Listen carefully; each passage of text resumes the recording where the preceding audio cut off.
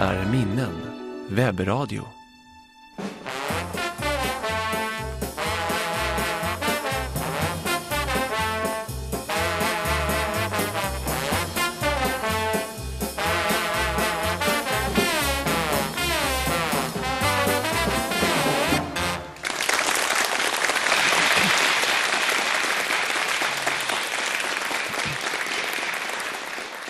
Som domare och eh, tänkbar ordförande i ett program som heter På minuten ber jag att få tacka för dessa utomordentligt entusiastiska applåder, applåder som eh, vi eh, faktiskt har låtit utsändas från Studio 4 i Radiohuset i Stockholm. Det är sommar och det är vackert och kombatanterna är som vanligt lika vackra och fräscha. Till exempel Margareta Krok som vi välkomnar. Tack så mycket. Allting är bra? Allting är mycket bra. Ja, det syns tydligt. Och Stig är eh, sommargrant eh, klädd också. I ljust och enfärgat, mycket stiligt. Jag ber att få gratulera. Jag är själv eh, glad åt det här. Det är hustrun som väljer åt ja. mig för att hon vill att jag ska göra lycka. Mm. ja. Så gott det går. Och sen har vi herr Alfredsson. Ja. Ber att få välkomna. Jag ber att få tacka så hjärtligt för inbjudan.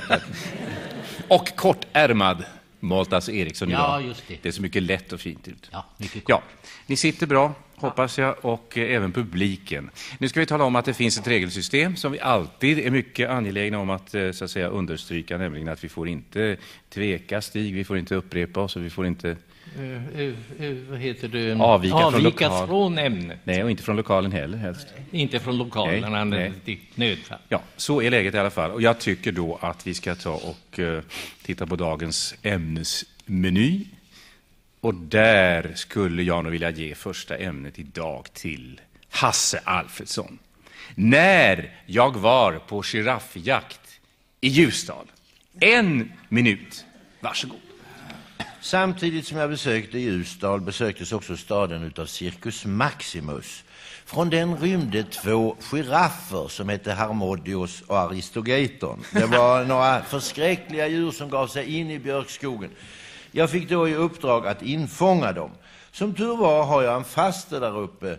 Emilia heter hon. Hon är mycket stor, mycket lång. Hon hade ett par gigantiska strumpbyxor som jag fäste mellan två björkar. Jag kopp... Va? Ja, jag är, jag är redan fascinerad av den här damen, men jag tycker kanske att det är lite av en avvikelse. Varför det? Från ämnet? Ja, jag, vi, jag tycker det. Giraffjakt i... Ja. Um... Ja, du hade herregud, kunnat... jag har ju precis satt upp byxorna i trä för att infånga girafferna. Ja, jo, vi, vi fortsätter. Ja, eh, men du hade kunnat protestera mot uppräkningen. Mycket, mycket, det får man inte göra. Men eftersom ingen har sagt någonting så får eh, Hasse faktiskt fortsätta. Du får en poäng och du har 29 sekunder kvar på minuten när jag var på giraffjakt i Ljusdal. Jag kommenderade då ut min ulmerdog Buster som skällande gav sig iväg efter girafferna. Han drev dem genom björkskogen fram mot de gigantiska byxorna. De kom in... Det var björkskogen för andra gången. Girafferna rusade in i björkskogen. Ja, jag måste ju säga att det har inte jag noterat, men jag tror dig på ditt ord, Stig. Okay. Ibland kan du göra det. Ja, då. Mm. Så det blir en poäng till dig och det blir i det här fallet 19 sekunder kvar av eh, ämnet som alltså heter När jag var på giraffjakt i Ljusdal. domare ja, det var... Tackar. Det var egentligen en djävulsk idé av min fästmö som hade annat för sig en sommar och sa till mig, för hon visste att jag var intresserad av sånt här, kan du inte åka till Ljusdal och jaga giraffer? Mm -hmm. Jag har Maltas. Ja, jag märker det. Jo, därför att nu börjar Stig alltså med en lång, lång, lång inledning. Jaha. En tirad som ska bli åtminstone 40 sekunder. jo, men det blir ju Ibland kan det bli 60,2. Ja, du vill säga bara att jag tog fram min kopist och sköt Kopist. giraffen. Kopisten? Och det blir... Jo, visst, ja, ja, ja. Men jag menar, då är ju saken klar. Du är ja. färdig med ämnet. Ja. Och därmed så, så kan vi säga ja, det, det, ligger någonting i vad du säger, Moltas. Det kanske var en aning utdraget och därmed ja. ska vi kunna rubricera det som avvikelse, eller hur? Det är en avvikelse. Ja, det var din sekt helt enkelt. Jag är väldigt ledsen för detta, men, ja, ja. men det blir alltså Molta som fortsätter denna jakt nu i nio sekunder. Varsågod. Ja, det är inte många som vet att eh, i norra Botswana finns det en liten ort som heter Ljusdal. eh, eh, som är befolkad huvudsakligen utav giraffer.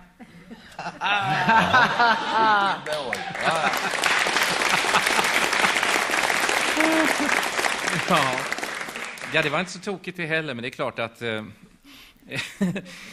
vi, får väl, vi får väl tro på det tills vidare och sen får vi lägga det åt sidan, precis som ämnet. Nu ska Moltas få ett ordinarie för dagen och det heter följande. Det är ett, eh, ja, ett frejdigt och ett eh, hy- hygieniskt och ett trevligt litet ämne, tycker jag.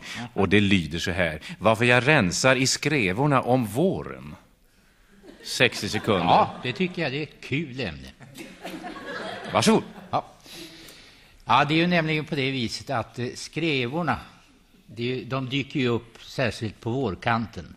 När isen har brutit, snön har smält och eh, det hela börjar på... Margareta. Nej, men nu är det för mycket naturskildring. Jag menar, om skrevorna finns där före eller efter är ointressant. På sätt och Jag vis kan tycker, jag... Ja. jag Nej, tycker men man att måste väl ha en, någon slags... alla vet vi att skrevor finns. ja. Nej. Inte? Det är synd. Det är bara pappa, precis som jultomten. Ja, ja Margareta, nog är det väl någonting i detta ändå att man skulle kunna kanske gripa sig an detta en liten aning raskare. Det du eh, framförallt beskyllde Stig för alldeles nyss, att det är till att falla på ert grepp. Fru Krok får en poäng och 47 sekunder. Varför jag rensar i skrevorna om våren? Jo, det är därför att jag är en gammal orienterare och jag vet hur skrevor kan förvilla spåret för mina kamrater. Så varje vår så går jag ut och rensar skrevorna från gamla kvist... Det var skrevor och skrevor och skrevor. Skrevorna. Ja, det Jag menar, det är svårt att... Nej, det var ingen upprepning, det var eh, alltså t- två former av samma ord. Det ska vi inte kunna säga någonting om. Det blir en poäng till i fru Kroks handväska och så är det 35 sekunder. Varsågod och fortsätt. Oj. Det är oerhört roligt för jag samlar det som finns där ute i dessa diken i en liten säck som jag sen kan gödsla min trädgård med. Det var en envis Moltas Vad är det nu då? Ja, diken och skreva. Dike Ja. och skreva kan väl ändå inte vara synonyma? Ganska mycket. Nej, De är det kan jag fördjupade inte tänka saker mig. i jordväck, Nej, kan jag säga. Jag kan kalla det för jordväck, if you mind. Ja, Ja, men då så skulle du i så fall ha sagt det. Ja, men diken. Vad tråkigt att du inte gjorde det. För där Ja. åkte du dit. Jag vet inte om jag tycker det faktiskt, för att eh, i denna, samtlig, de- denna beskrivning utav så att säga håligheter i marken tycker jag nog att diket ibland kan höra också. Jag tycker inte vi ska vara fisiga på den, eh, på den avdelningen, utan det blir liksom bara 29 sekunder och en poäng till till Margareta. Vad hette ämnet? Jo, varför jag rensar i skreven om våren. Jag vill använda detta innehåll som jag har i säckarna till att gödsla min trädgård. Dessutom så är det en sån underbar naturupplevelse att få lyfta fram alla små veck som har bildats i jordskorpan och se hur de så sirligt kommer samman i olika färger när de befrias från kvistar, löv, mossor och lavar. Jag skulle vilja säga till alla som sitter där, gå ut nu var det Hasse. Ja, alltså nu var det det att jag tyckte det blev tuggigt om en sån regel finns. Det var så väldigt mycket med det. Och så att skrevorna kom samman förstår jag inte hur Jaså, de gör. de, de slutar ju ihop. Ja, va? De är ihop alltså. Är de ihop? Ja, annars är det ju... Har du aldrig varit orienterare? Nej, nej. Ja, jag tyckte det var något dävet där. Ja, det var lite samkörning av Ja, ja. skrevorna som man kanske inte riktigt Ja, kan just det. acceptera, måste jag väl ändå säga. Så Hasse, jag tycker det ligger någonting i din protest. Du har sex sekunder och du har alltså fortfarande en bit av ämnet kvar. Som Varsågod. heter? Rensa i skrevorna om våren. Varför jag gör det? Ja, ja. Mm. Det gör jag för att bringa fram en björkskog. Betula alba.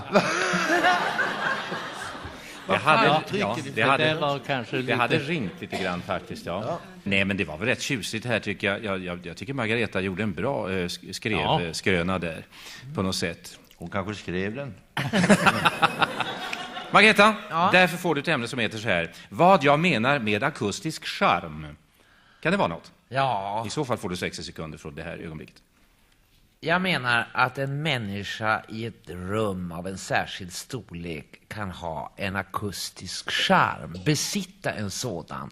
Särskilt tänker jag då på lilla Domsingen. När han öppnar sin mun och frambringar sin ljuvligt välmodulerade stämma, då upplever jag nästan svettande en akustisk charm som går genom märg och ben. Det är inte ofta Stig, Ja, jag tycker nog att örat lämpar sig mer för att uppfatta en märg och ben. Där känner man väl inte så mycket av Säg inte ljudvågor, melodier. nu måste jag ju säga att jag är väldigt jävig i detta domslut. Jag tyck- Ja, det förstår jag. Jo, men det- det är bara så här att eh, det finns ju faktiskt i den så kallade musikproduktion som förekommer idag, förutom eh, röster och eh, hela den här elektroniska balletten, sådan musik som även gör att ryggmärgen börjar vibrera. Så att jag, jag känner mig fullt övertygad om att jag har varit objektiv när jag ger Margareta en halv minut till plus en poäng. Alltså vad jag menar med akustisk charm. Charm jag har också Stortorgets klockor. Det var fel, förlåt mig. Storkyrkans klockor. Ja, där fick... det jag menar. Ja, avvikelse, där fick du en poäng gratis, Stig. Ja, Nu får du 27 sekunder, varsågod ja, jag har fått uppleva en operaföreställning i Caracallas termer i Rom, då det här tåget Aida med elefanterna och de här riddarna rider in på arenan. Och det måste jag säga att det ljud som uppstår, det har inte bara med sången att göra, det är hela atmosfären uppladdad kring det här. Och det skapar en stämning som förflyttar en tillbaka till den epok som Aida vill skildra. Det tycker vi.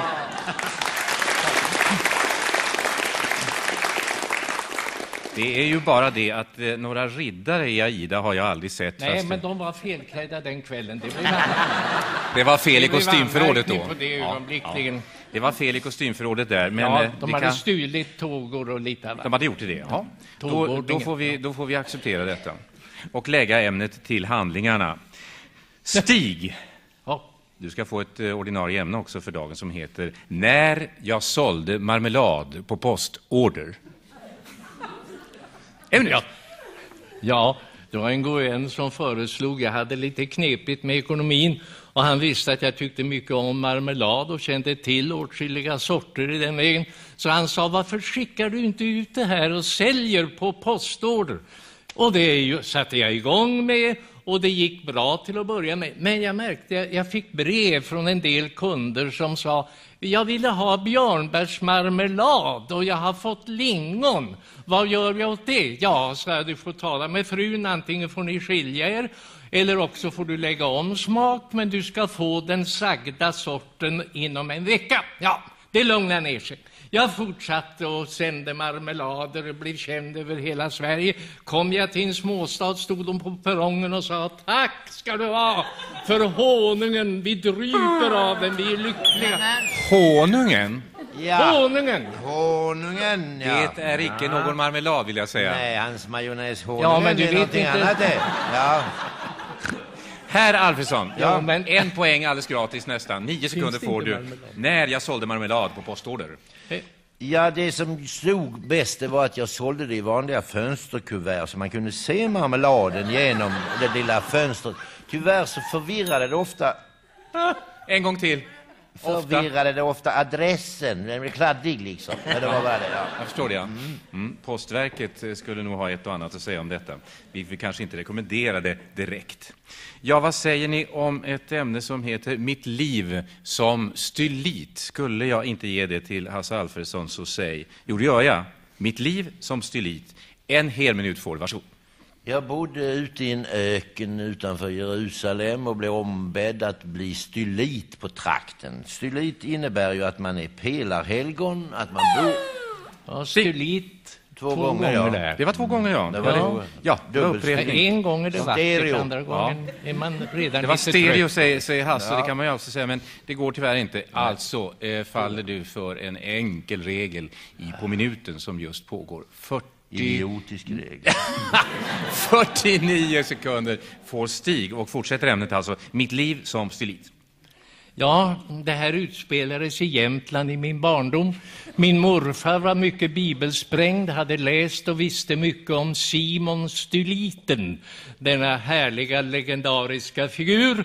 Och han sa till mig, du är visserligen långbent, men vi måste nog bygga på en del om du i skogarna här ska få bära detta ädla namn. Så han kapade till några långa trädstammar som han sen skalade ner, hissade upp mig på och jag fick provgå. Det var en midsommarafton och jag tror aldrig bygden ska glömma den synen. Jag undrar när jag vajade fram över Jag undrar om inte Stig har missuppfattat det här lite grann. Vad säger Hasse som protesterade? alltså, enligt vad jag kan förstå av Stigs väldigt charmiga berättelse Mycket. ifrån, ifrån björkskogarna där uppe så eh, var det att han trodde att de går på styltor, styliter, det gör de ju inte alls. Stylit är faktiskt inte en styltgångare, jag ber om ursäkt. Så det blev liksom lite fel, men det var väldigt tjusigt, det måste jag säga. Ja, Och det men var du lite vet, tragiskt. i, i Jämtland hade de ingen aning om. Nej. Jag märker det. Utan jag fick het, ja men det var i bygden där. Jaha. Om du kommer och frågar, berätta om en stylit. Han kan lika väl gå på...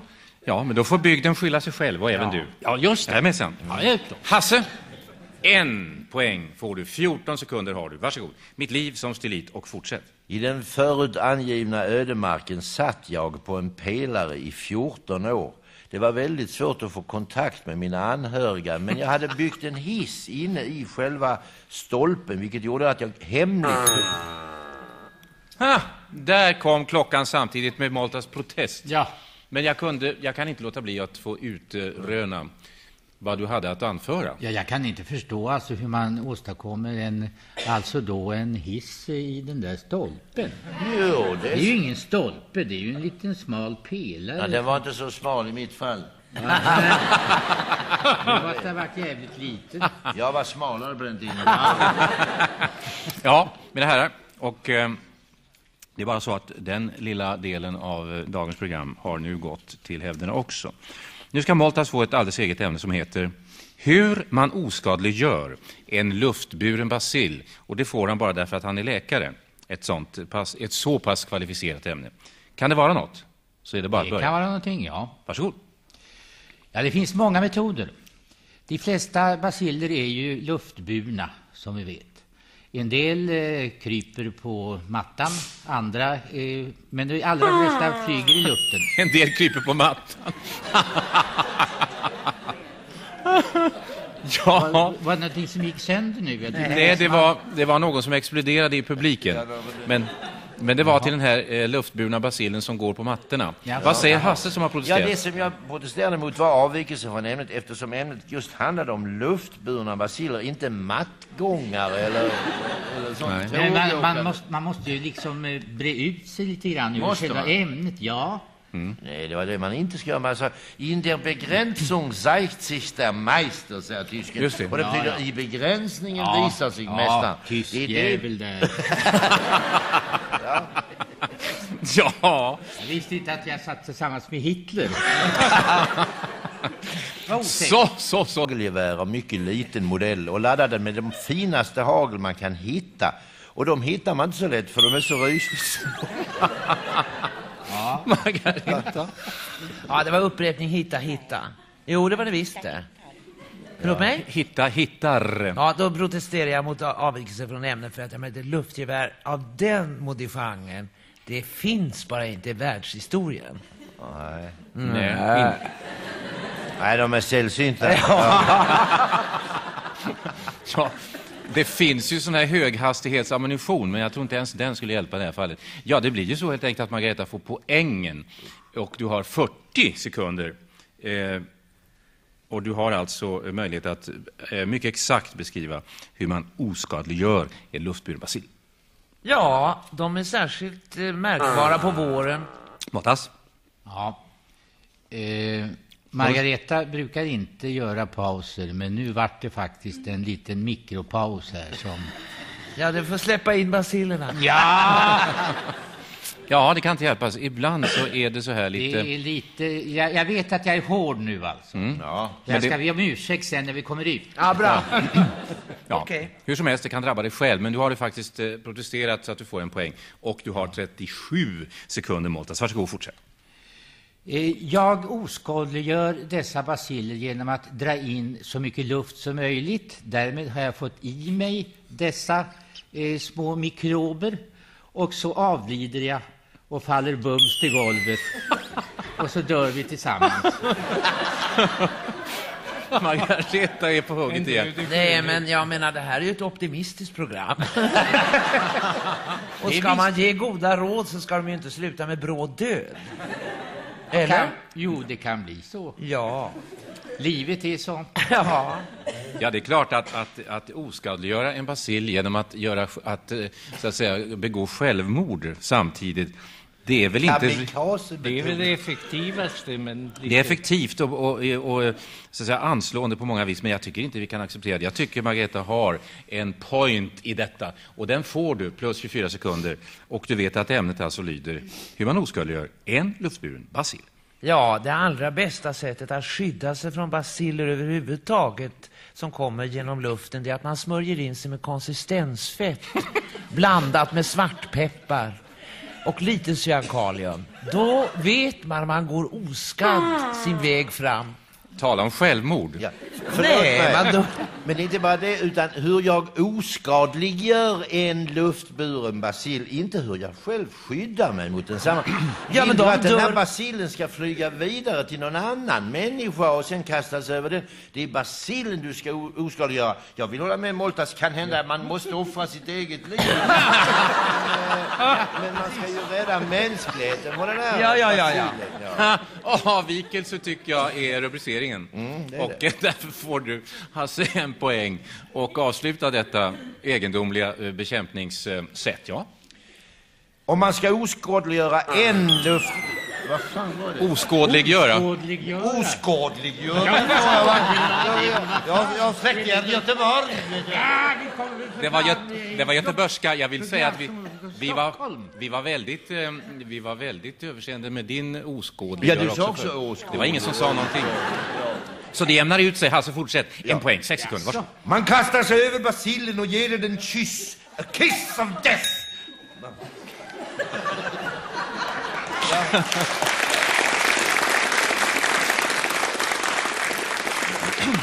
Nu, mina damer och herrar och eh, värd, eh, värderade kvartett, ska vi faktiskt ägna oss åt någonting helt annat. Och det är någonting mycket påtagligt självfallet eftersom det rör sig om astrologi. Och det ämnet eh, ska vi formulera sålunda. Enkla sätt att genomskåda astrologin. Margareta Krok. Varsågod. Det står absolut still. Att genomskåda astrologin, jag förstår inte ens ämnet. Nähä. Då är det bara till att kapitulera, får vi se vem som trycker. Det var eh, Moltas Eriksson. Ja. Ja, det var lite tragiskt sådär, men jag det var mycket var ärligt. synd. Framförallt. Ja, Dr. Eriksson ska Ja. genomskåda eh, astrologin. Ja. Ett enkelt sätt. Jag läser ju mitt eh, horoskop varje morgon när tidningen kommer klockan fem i fem på morgon. Och eh, konstaterar att idag så kommer ni att...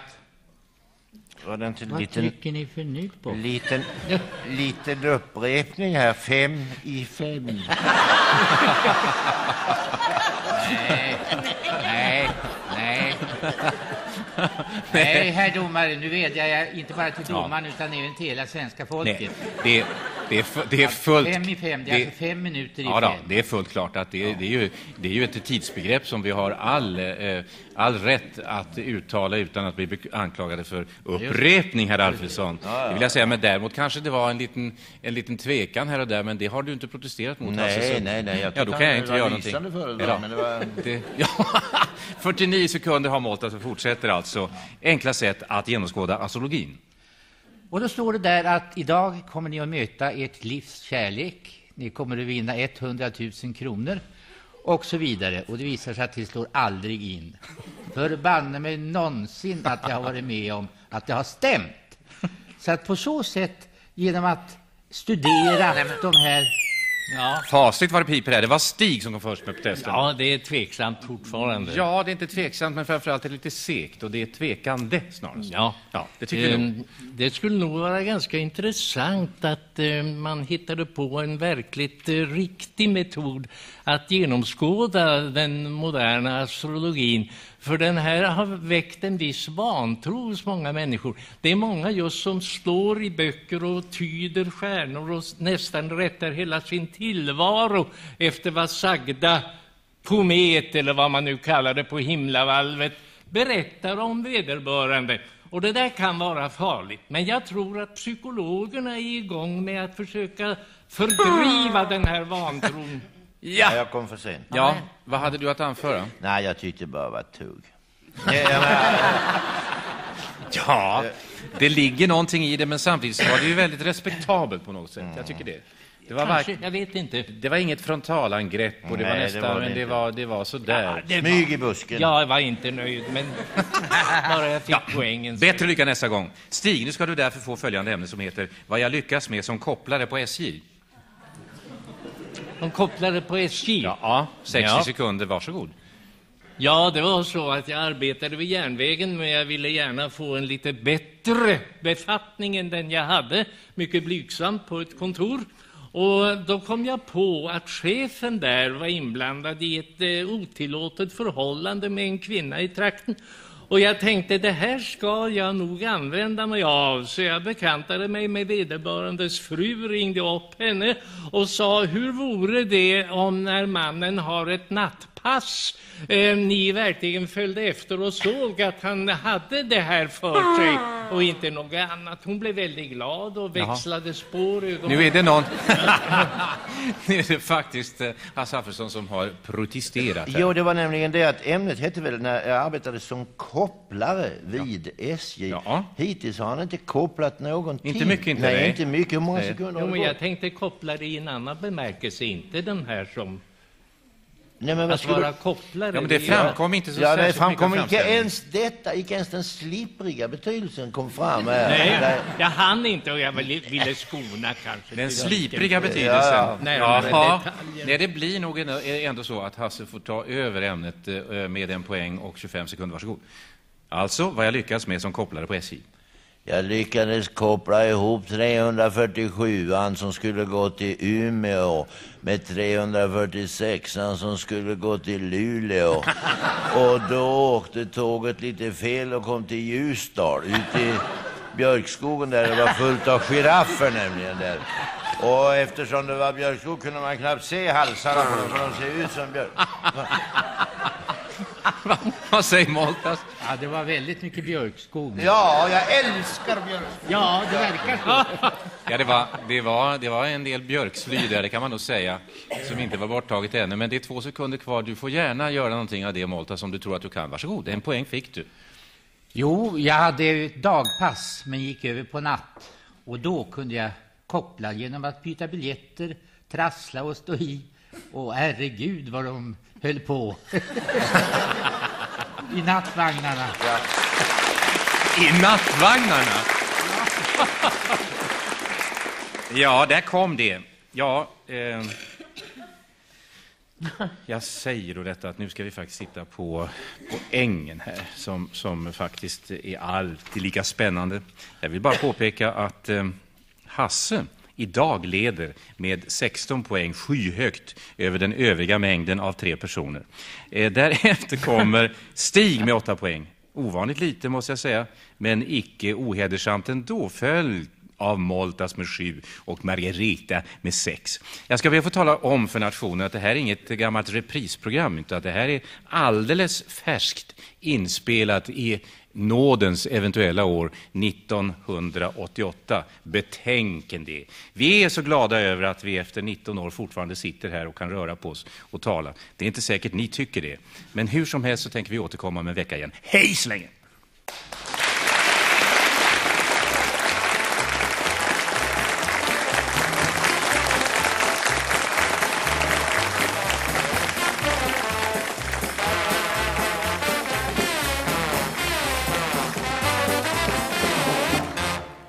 På minuten med Lennart Svan från den 2 juli 1988. SR Minnen Webbradio Du lyssnar på SR Minnen, webbradion. Här hittar du det du trodde att du hade glömt. SR Minnen.